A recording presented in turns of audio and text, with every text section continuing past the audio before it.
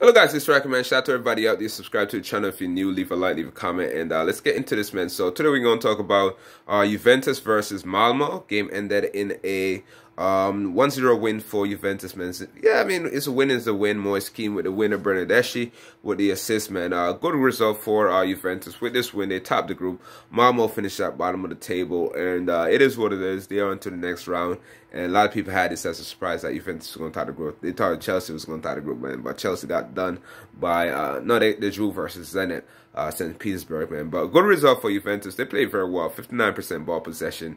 Um, they had, what, 60 shots, 7 shots on target compared to um, Malmo, 6 shots and 2 shots on target. Uh, overall, they did very well. Goalkeeper uh, did all right. Um, it, defensively, there was sound defensively, very, very well defense. Shout out to Winter, brother, young Belgian player did very well. Bonucci, those guys did very well. Um, uh, Danilo did very well. Midfield, solid.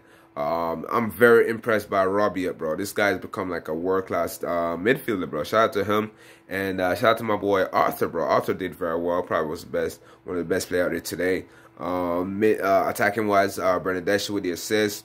Um, uh, De Bruyne, um, attacking midfield role, but eventually got substituted off at the uh, beginning of the second half.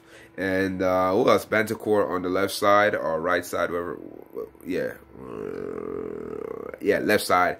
And uh, Moise Kean up top did very well, man. So shout out to them. Very good game overall and never really put a bad foot in, man. Everything they did was perfect, was on point.